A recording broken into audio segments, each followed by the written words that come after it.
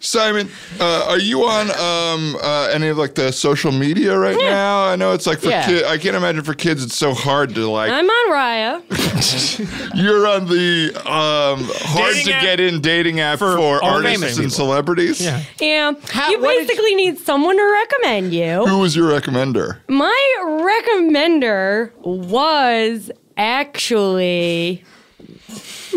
It was Little Dicky, wasn't it? Well, Was I'm it not sure Dicky? who that is. God, if we could get little Dicky's email. My recommender was Little Pete. Famously, Little Pete. Famous. And And and remind so Little- Lil Pete is obviously um The younger brother from Pete and Pete. Danny Tamberelli. Who I think now I have more money than. And his story, of course, a little bit sad. He dropped his real name Yeah. and is just now going by Lil He's Pete. really leaned into that persona and that reality. He Mm-hmm. actually And got the petunia surprisingly tattoo on has his to be on a dating app. He hasn't found somebody. so not you went on a surprising. You went on a date with uh, Dakota Johnson the other day via Raya. Is that true? How'd that go? I met Dakota on Raya, and well, it was started absolutely in a beautiful way. I picked And you're up- 10, right? Yeah, I picked up at my Best Buy bus. Is your dad smoking a cig in the back? yeah, of course my dad's there, ding dong. And then I had her sit in the a middle seat. Okay, good, good. Treating Because her you- like shit already. Well.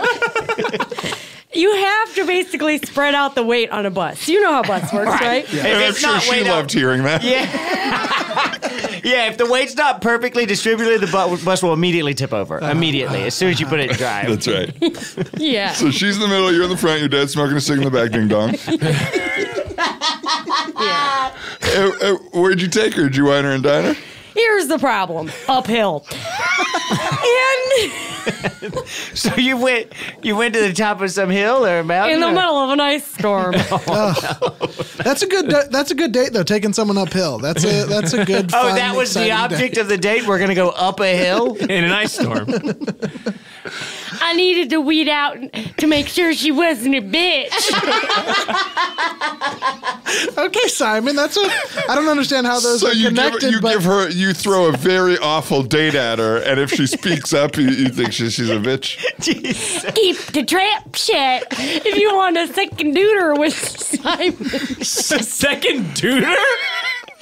You're like Simon. You're like a pickup artist, Simon. You're fucked up. Yes. Simon, honestly, uh, I might have agreed with you a little while ago, but I'm reconnecting with my daughter now. And so uh, now that I can relate to having a woman in my life, I don't like hearing women talked about in that way anymore. Daughter, eh? Yeah. What are the stats? The bra size. Um, she's about six feet tall, four hoofs, um, cute little tail, White covered tail. in brown fur, white tail. I honestly don't know how this happened. Yeah. I don't know how he thinks his daughter is a big ass deer.